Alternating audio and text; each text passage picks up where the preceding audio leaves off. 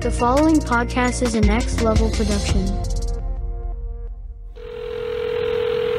Hello? Nani, hi. Kamala? Is that you, beta? Is it okay if you move the phone a little further back? I, I can't see you. Oh, why don't you write to me? I wait for the post every day. Yeah, I'll get on that. Did you get my gifts? Huh? Yeah, look, um, about the bangle. What about? Wait, which one? What? The bangle, it doesn't really weird things, and and it's That bangle belonged to my mother, Aisha. the one who disappeared during partition. My great grandmother, Aisha.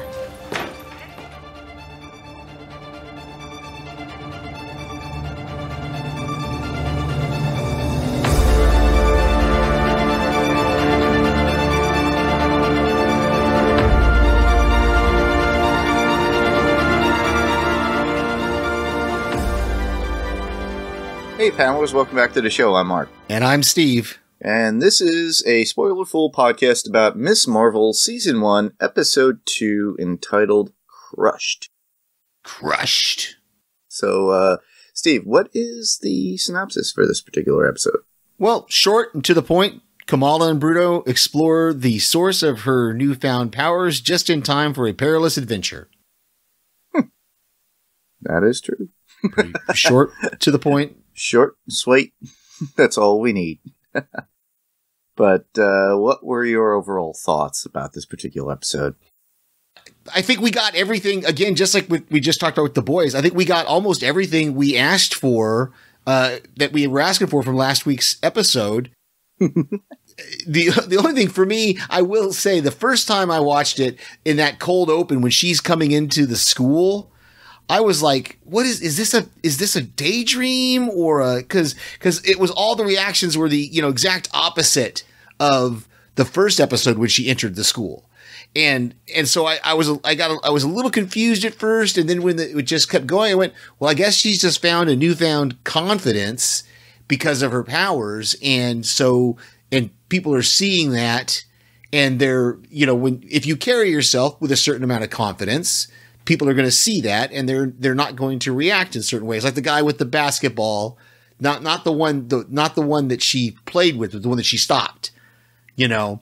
Um, so I thought that was that was really cool that this character has grown very suddenly into this very confident. But then by the end of the episode, we see her kind of losing a little bit of confidence. So, uh, but I'm sure we'll talk more about that.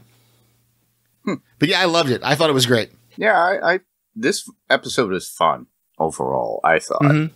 Uh, a lot of eye awakening for me for uh, how uh, mosque is, the religion, uh, how their viewing of women within that particular religion too, and it was pretty interesting. I'm I'm glad we got a lot of this diversity in this world now, where they can present these things to us, so we can learn something. Because a lot Mhm. of people just walk around with blinders; they don't know anything about about somebody else's culture, and to me, I, I like that. Uh, I know a lot of people who are Muslim. I have a friend; his name is Mark too, and he kind of introduced that to me in in the '90s.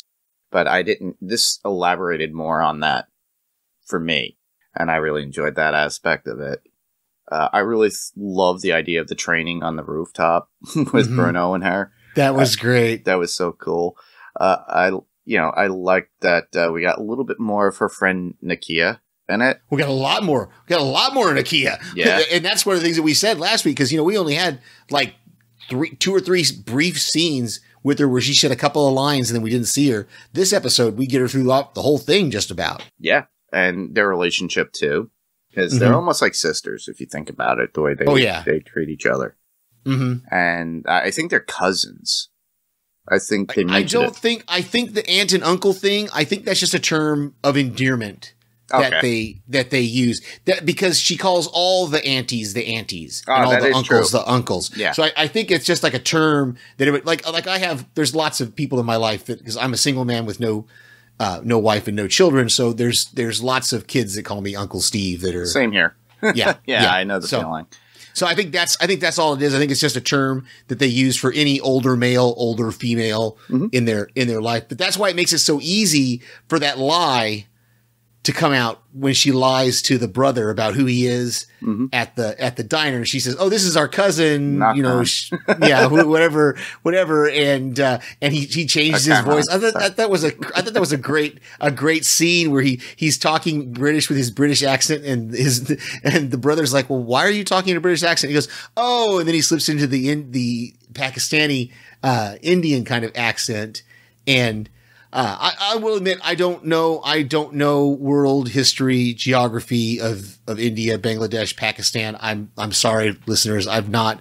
I did a little. I did a little bit of a Wikipedia um, investigation kind of thing or research to try to, to understand what they were talking about with that whole partition thing. Ah. And so apparently, I guess India or part of India is no longer India. It's now two separate Yes. it's Bangladesh and and Pakistan, and so and and that's kind of where the that uh, when the British left and there was just kind of a civil war to break out to who would be in control of the country. So Yeah, and we got yeah we get a little history lesson too with Mm-hmm. the show. and I may research some more about that just to understand it more to because it's it's not clear and they didn't they weren't 100% clear on it because obviously you you know it's interesting they're portraying these people who have had these very traumatic events happen within their lives. I mean they were children, you know the mother was just a child when this happened because it was the great grandmother who was the one that disappeared, not the grandmother who she Ah. talked to on the phone. yeah So I got that when I watched that. I finally got that cleared up in my head. The the in the, in the second watch that I did here recently was it was the great grandmother that disappeared. She talks to her grandmother on her on the on the phone. Yeah, and I think the grandmother was the one the story was about, uh, and the mother was a little child when this all happened. Came to So- play. yep. yeah, yeah. So, but yeah, it's it's interesting to get this this other countries and other histories um, that we here in America don't are not usually exposed to, and other countries. You know, it's it's one of those weird things as from American standpoint. Probably there's a lot of other countries that probably study some American history just because it's just because Yeah, you know yeah. but we don't study a lot of we have you know i, I think I, I remember taking one world history class but I, I couldn't tell you anything about it Yeah, yeah. Well, same here. I, I was terrible at history, but it, it does intrigue me too because once you get somebody who actually gives it to you in somewhere, some media form, so you can understand it better, it helps. And I like that about this.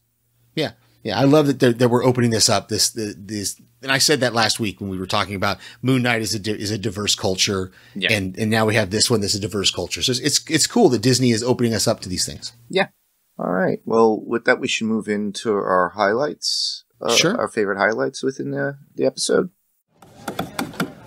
No, no, no, no, no, Kamala, somebody stole my shoes. My new Versace's. And the monster thief has struck again. We got way more. We already kind of talked a little bit about it. We got way more of Nakia uh, in this in this episode, the girl who was wearing the, the hijab, and I thought that was great. I loved that moment, and it took me the second watch to figure out what they were doing when they went to the mosque and they were trying to and they were at the the faucets. They were washing the makeup off their face Ah, because that's they, what they that were. I, that's that's that's the only thing I can figure they were doing is probably because in that culture they're probably not supposed to wear makeup and so they had to wash the makeup off their face before they would go into where The the, prayer meeting the mosque or the yeah where the, where that area of the mosque. And of course then we see we see that Kamala puts one on. But I love that conversation they have in the bathroom where Nakia says you know that that that she wasn't white enough for the white people and she wasn't ethnic enough for ethnic people Yeah. and so she started wearing the hijab to think it would it would help but it didn't end up helping anything and so now she just wears it because it's part of her it's who she is and how I love that that self-confidence she has of I'm just going to be me this is who I am I'm going to be this person and the world can do whatever it wants I'm gonna I'm gonna wear what I want. I'm gonna believe what I want. And I thought that was I thought that was really kind of kind of nice and kind of great. But uh, yeah, I love that. I love their relationship. And even though they have different takes on it and different you know of that culture, they still are friends and they're still good friends. Yeah. And the funny thing too about that, it shows uh like it's still Americanized because the girls in the mosque itself during the uh, Mhm. I guess you could so- call it a service that they were having. they have their phones, they're Instagramming. yeah. yeah, and the one woman takes it takes it away. Yeah, I love. Yeah, that whole that was great to see to get to see that kind of like you said that culture that we don't normally see. You know, and her her speaking up and and the the uh, the sheik saying, "Well, I'm glad you're here today, but don't interrupt my lesson." Basically, Yep. is what he was saying, and he's like, "These partitions and all these things are here." To, I thought it was interesting that he used the same word partition that's used about the Civil War uh, between the males and the females here in the mosque. I thought it was was interesting. and it's falling apart too, according to them. Yeah. They got mold underneath the rugs. They just put something, slap a poster over something that's falling Yeah. apart. You could see the pipes are not working. So, you know, Mhm. she, she Nakia's like, oh, I, Yeah. oh, I got to get this. So because, and then they're washing their feet, they're washing their hands, they're washing their face. yeah, it, it shows that it's like not being taken care of, and Mhm. obviously, you know how they're separate because women are left to the back, and all the men have all the good seats in the front. yeah, yeah, yeah. So I thought that was great. I, I thought it was great that uh, Kamala convinces her to run uh, for the mosque board, and so even though she's, I, I'm assuming they're like 16. I guess she's getting her driver's license, so she must be 16. Yeah, at, At least this point. sixteen. They're 16, 17. Yeah, Um, sixteen is when you start getting your learner's permit Yeah. in New York and New Jersey, and then by the time you're seventeen, you have a full license. Okay. Yeah. And so, so it's cool that she has this opportunity to run for the board. And, you know, like she's, uh, and again, I'll, I, I've got some more about it in my notes later, but I love that at the Eid, how they had all that, that little celebration. She had all those different groups that she was going to have to interact with.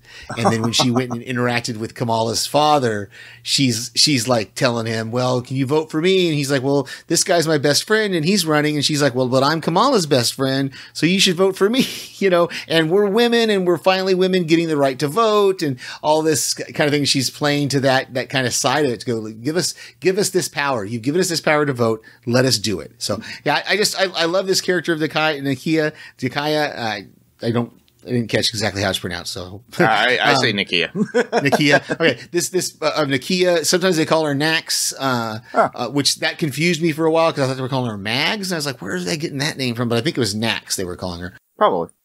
But uh, but yeah, I love this character, and I, I I'm glad we're getting more of her.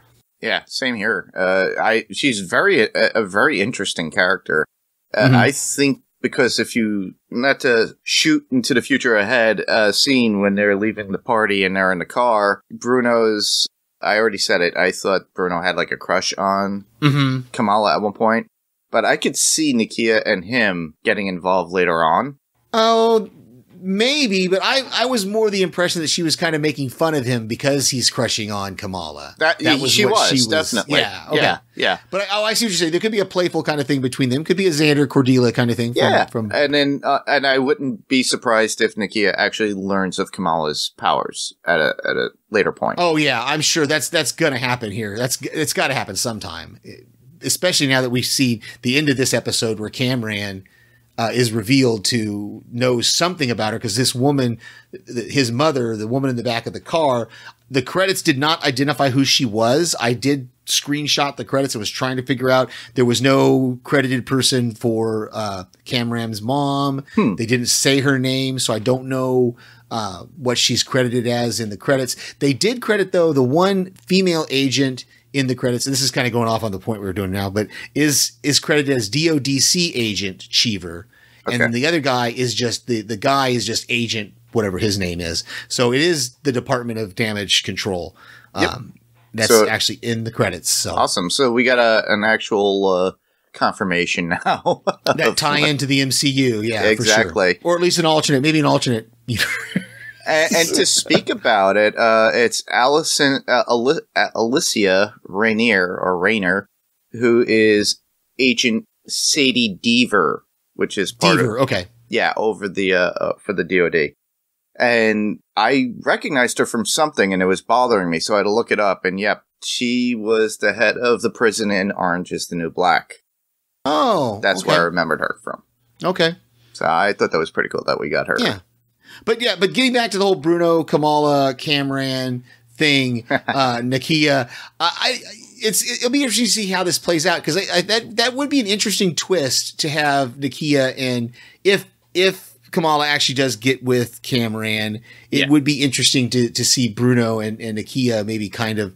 Uh, but I think you're gonna have the same culture clash that he would have he got with Kamala. Correct. But uh, but you know we I, I think we did talk about it, but I think we talked about it in regards to him not having any romantic feelings towards her in the first episode. We thought more of a brother sister kind of thing, but this one it's obvious in this one that they're that he had he feels way strongly for her than than she does for him, and she doesn't. Even, the funny thing is, it's just like it's normally in television shows and movies. She doesn't realize it, but everybody else around her realizes it. Hmm Yeah.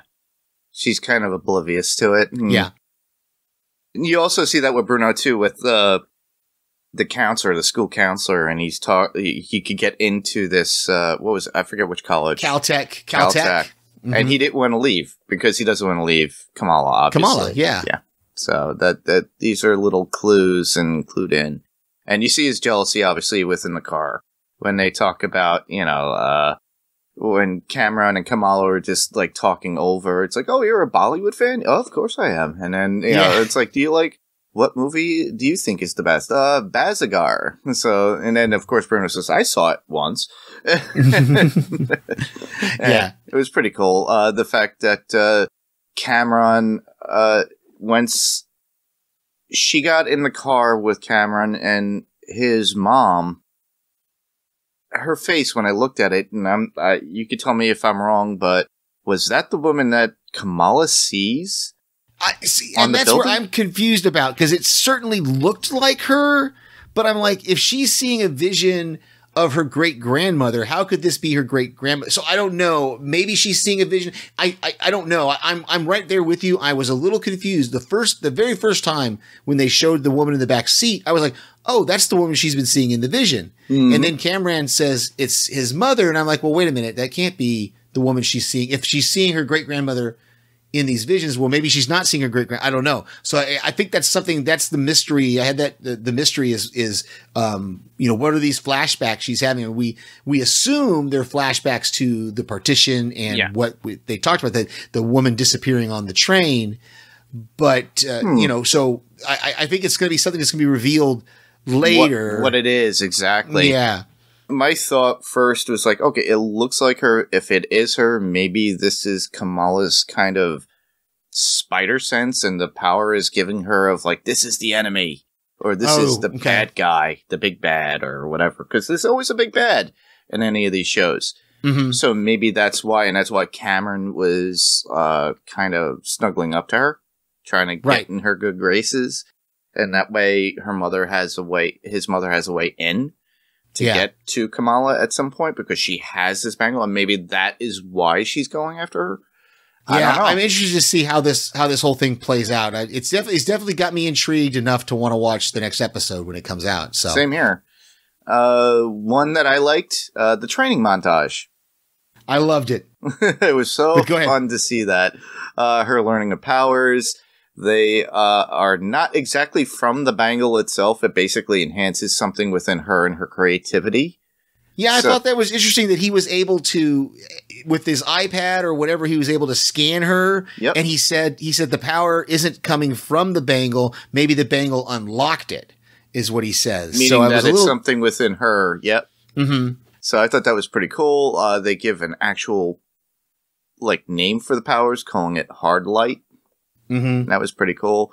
Uh, uh, the the one cute scene is when she's like trying to walk on the hard light itself, and and she falls, and she's holding on, and then he's like, he goes, gotta drop, you gotta drop." You think she's high up? No, it's just Yeah. the next platform down. Yeah, it's just, I, that was great. That, that scene had me rolling both times when I watched it because the first time I was like, "Wait a minute, how high up are they?" And she's just saying, "Let go of me," and then he lets go, and she just kind of drops three feet, and I'm like, "Okay, I don't know what the big deal was here." So yeah, I love that fake out. That was a really good fake out for us.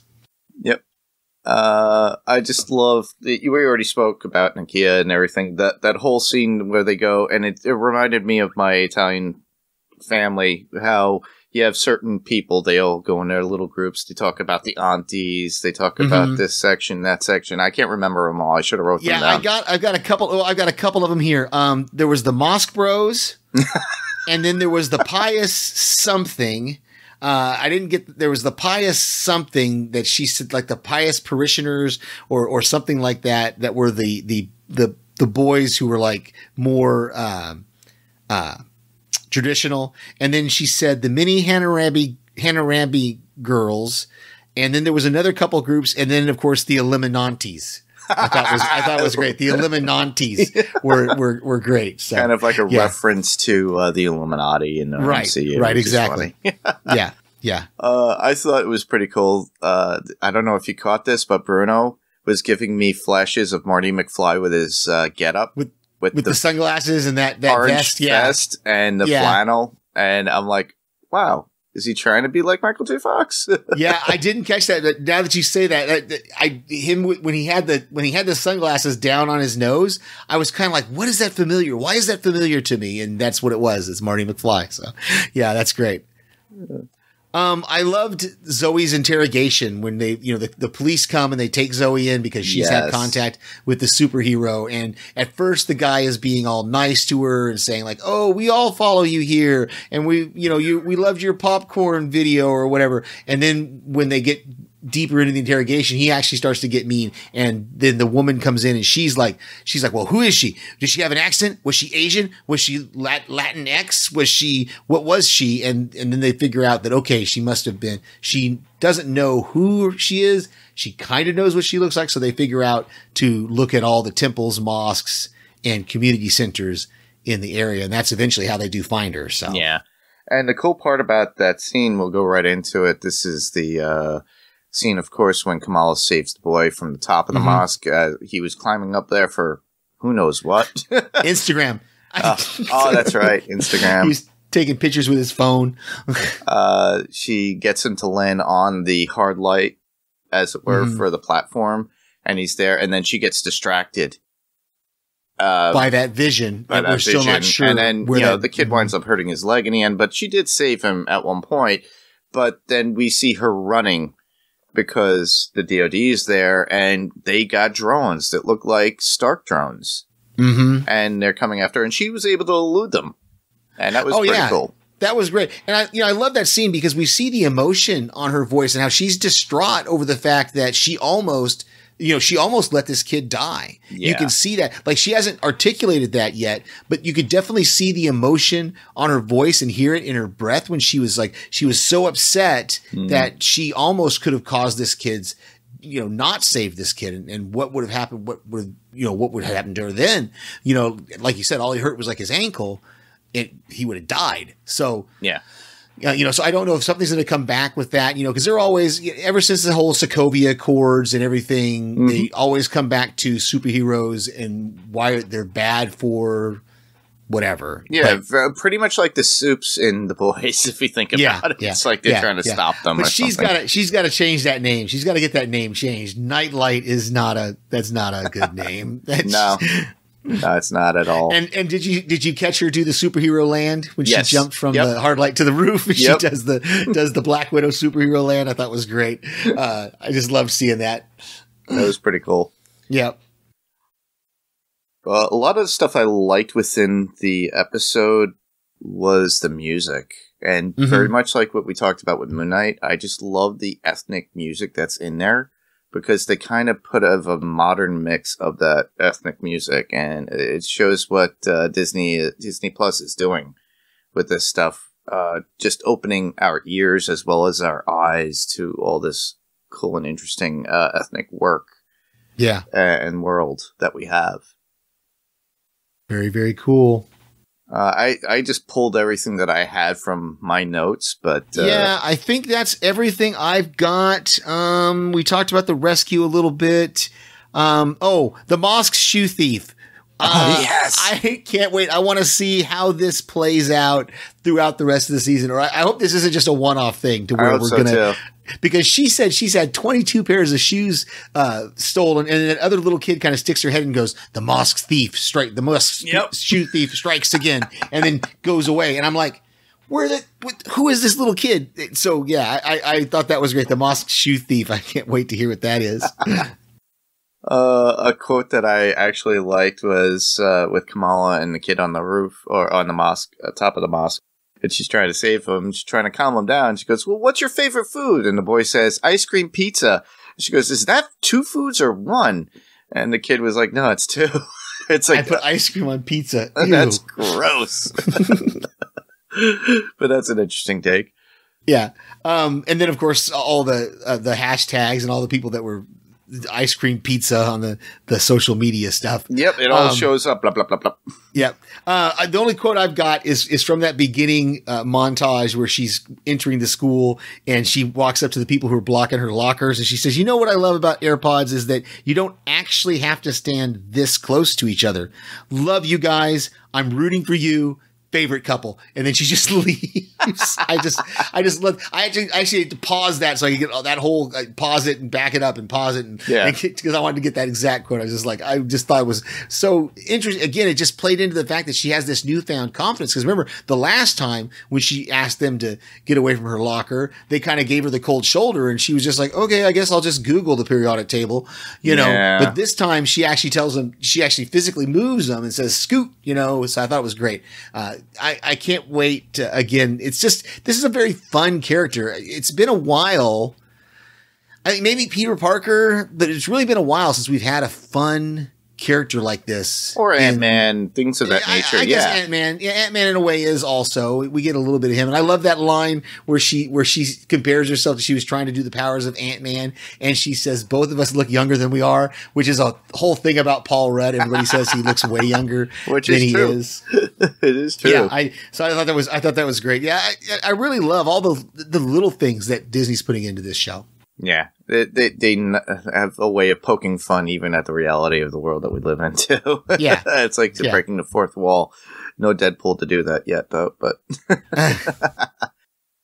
but yeah, I, it, was a great episode. I thought I, I I filled everything that I wanted to see all in one, and I thought it was pretty cool.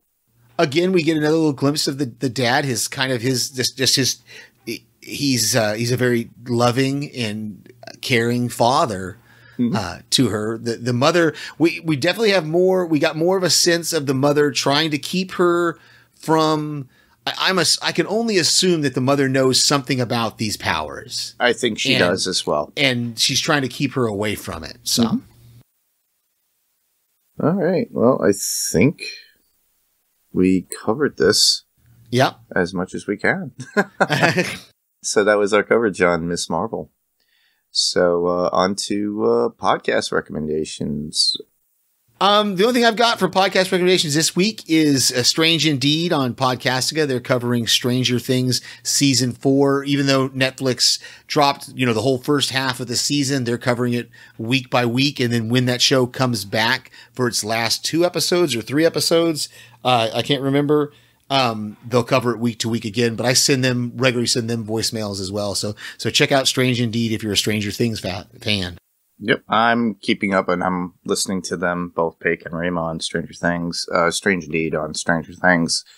Uh, I got to watch that in one full swoop, but I should go back and watch specific episodes again just to refresh my memory. Yeah, I've got to watch the next. I I only I've only watched up through the last episode they podcasted on, so I've got to do the next one. I think they're podcasting this weekend. Yep. Uh, that, yeah, I- would definitely say uh, Run for Your Lives. They've been covering uh, a few episodes that I, or movies that I liked. Uh, the last one I listened to is The Gate.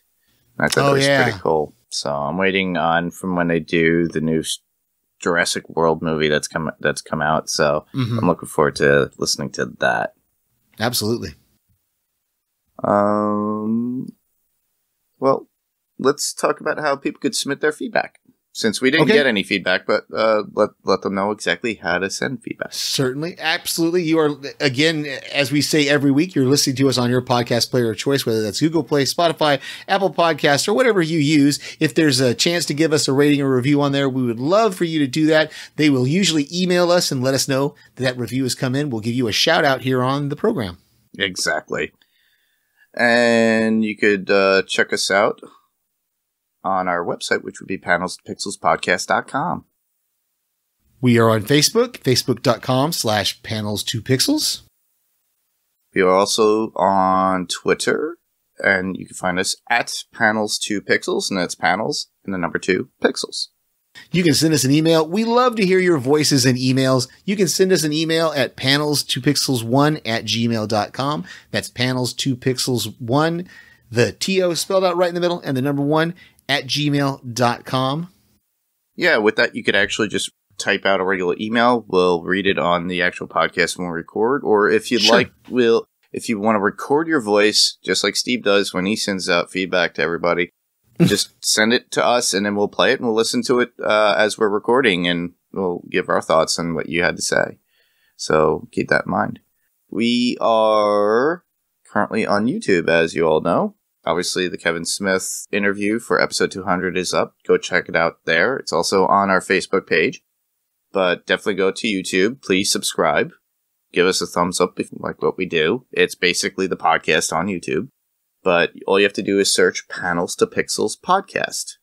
We are also on Instagram at panels two pixels podcast. That's panels two pixels podcast, all spelled out with letters. Awesome.